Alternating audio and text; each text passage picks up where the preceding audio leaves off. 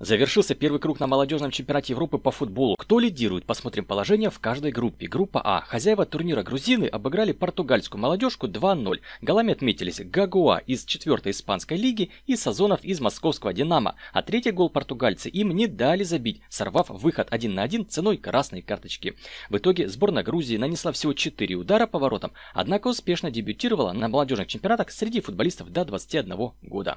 Бельгия, Нидерланды 0-0. Сборная Нидерландов красавчики, не проигрывают никому с июня прошлого года 16 матчей подряд. Расписание второго тура. Грузия сыграет с Бельгией, а Португалия с Нидерландами. Таблица этой группы. Грузия 3 очка, Нидерланды, Бельгия 1, Португалия 0. В плей-офф, напоминаю, выходит по две сборные каждой группы. Группа B. Украина, Хорватия 2-0. Игру обслуживал судья из Швеции Мохаммед Аль-Хамим. Алексей Кощук заработал гол плюс пас. Он выступает в чемпионате Азербайджана за Сабах. Румыния, Испания 0-3. Молодежная сборная Испании одна из самых титулованных команд, на ее счету 5 Кубков Европы, а сборная Румынии вместе с Грузией является организатором данного турнира. Расписание 24 июня. Румыния, Украина и Испания, Хорватия. Таблица. Испания, Украина по 3 очка, испанцы выше за счет разницы мячей, Хорватия, Румыния 0 очков. Группа С.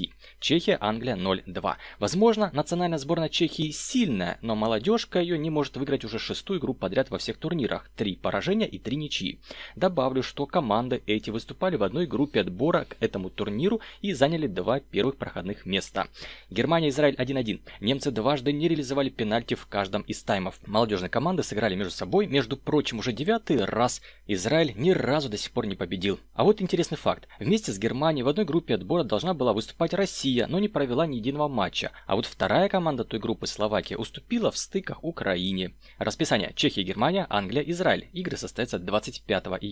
А сейчас таблица. Англия 3 очка набрала, Германия, Израиль по одному, Чехия 0. Группа D. Норвегия, Швейцария 1-2. Норвегия впервые за 10 лет пробилась на Евро. Франция, Италия 2-1. Француз Баде из Севильи был удален в концовке игры. Италия самая опытная команда. Это ее 22 участие. Наряду с испанцами они имеют 5 трофеев. Надо напомнить, что эти сборные на официальном уровне не встречались с 1999 года. Последний товарищеский матч был тоже давно, 5 лет назад, и закончился 1-1. Расписание Швейцария-Италия и Норвегия-Франция. Таблица Швейцария-Франция 3 очка, Норвегия-Италия 1-0, лучше бомбардиры и ассистенты. Ряд игроков забили по голу, а Цитаришвили из Грузии имеет две передачи, он лучший ассистент. Ставьте нравится, смотрите выпуск о жеребьевке второго раунда отбора в Лиге чемпионов. До встречи на спортивном. Услышимся.